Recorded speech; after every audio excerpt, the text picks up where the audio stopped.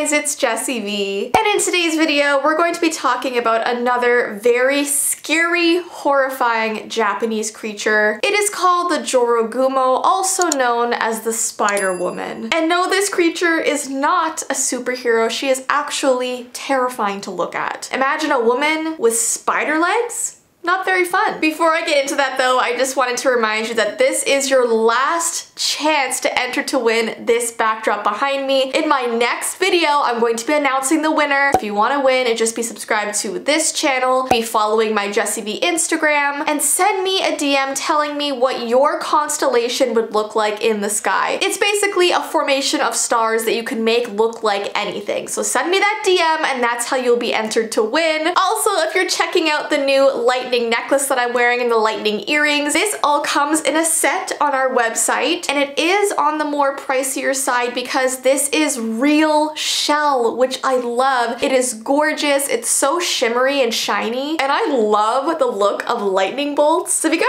would like this set, I've put a link to it down below in the description. And also a heads up, my sister Mandii Vee has launched a new plushie line. She has an autumn fox and Cuddles the black bear. They're absolutely absolutely adorable. But my most favorite item that she just launched is the s'mores bear. Are you kidding me? This thing is so cute. I love it. It's literally a marshmallow bear with chocolate and graham crackers. If you guys would like any of these new items, I have also linked them down below. All right, guys, without further ado, let's talk about the spider woman. According to a legend in Japan, when a Jorogumo spider turns 400 years old, it gains these magical powers and begins to eat humans instead of insects. This spider is said to look exactly like a golden orb weaver in real life, and these spiders are very large, with females of the species growing up to 2.5 centimeters in body length. And guys, that is not including their legs, so that is crazy. And they weave these webs that are large enough to reach between two tree trunks. And the spider's habitat is basically everywhere in Japan, and sometimes they get so big that they can catch and eat small birds. And because of their large size and the meaning of their name, these Joro spiders became associated with supernatural events. And I'm so sorry I had to show real spider pictures at the beginning of this video. I hate looking at it too, trust me. I just had to show you what the real spider looks like in comparison to the legend. But I too am arachnophobic, so I completely understand if you're freaked out too. So the name of this creature is said to also mean woman spider or entangling bride. It changes its appearance into a beautiful woman to ask a samurai to marry her and then she will entrap him to eat. However, her reflection will show her true spider form so she stays away from mirrors or reflective surfaces so she doesn't get found out. Sometimes she will take the form of a young woman holding a crying baby in need of help and when a man walks up to assist her, she will hand them her baby which turns out to be a giant egg sac filled with thousands of tiny baby spiders. And obviously those little spiders will attack the man. It is horrifying. Other times she will entice a man into a quiet shack and begin to play a biwa, which is a Japanese instrument. And while the victim was distracted by the sound of the instrument, she would bind him in spider silk threads in order to devour the unsuspecting person as her next meal. So basically, if she invites a man into her home, he is usually never seen again. And this creature can operate this way for years and years, even in the middle of a busy city. And the skeletons of hundreds of men are just building up into her home. There's like no furniture, it's just skeletons from floor to ceiling. What's really creepy is that this creature technically has three forms. She has her spider form, her complete human form, and then she has a mix of both. An upper body of a woman with legs of a spider protruding out from her back, and sometimes she has smaller fire-breathing spiders coming out from her legs. And uh, yeah, it's quite a sight for sure. So I really wanted to talk about Joran Falls because the Jorogumo is often associated with locations of waterfalls. In particular, the Joran Falls of Izu have many legends about a spider woman who is the mistress of the waterfall. The original legend says that one day there was this man who was resting by the waterfall when he suddenly felt this sticky spiderweb clinging to his leg. So he pulled the spiderweb off of him and stuck it to a nearby tree stump. And the Jorogumo then quickly dragged the stump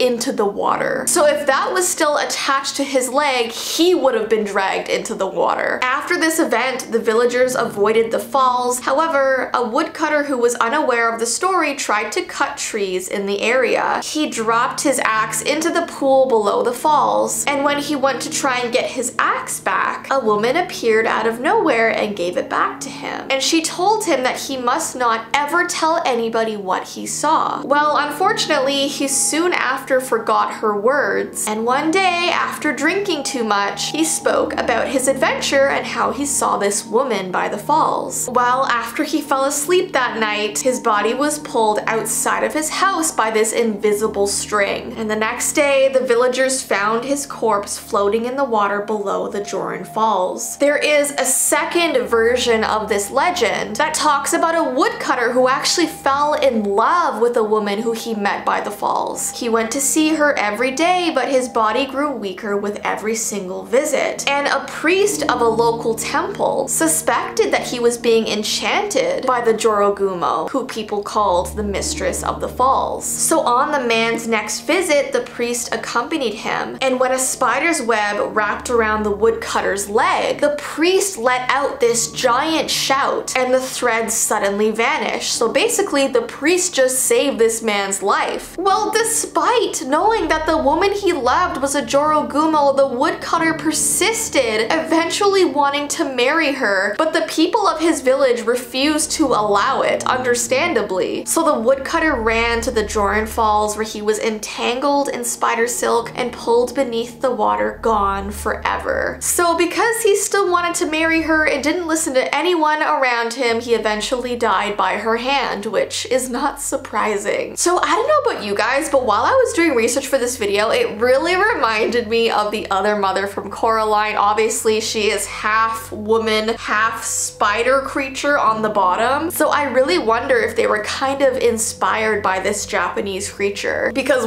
whenever I picture her, I picture the other mother and obviously she is really creepy. Anyways guys, I hope you enjoyed this Japanese urban legend. If you want me to do more, give this video a thumbs up and let me know and maybe comment some down below that you want me to cover. These are some of my favorite things to research. They're so creepy and intriguing. But yeah, don't forget to enter to win the backdrop behind me. And if you would like any of the new things we have on the website, these earrings and necklace set, I put a link down below in the description. But I hope you have an awesome rest of your day and I will see you in my next video. Bye!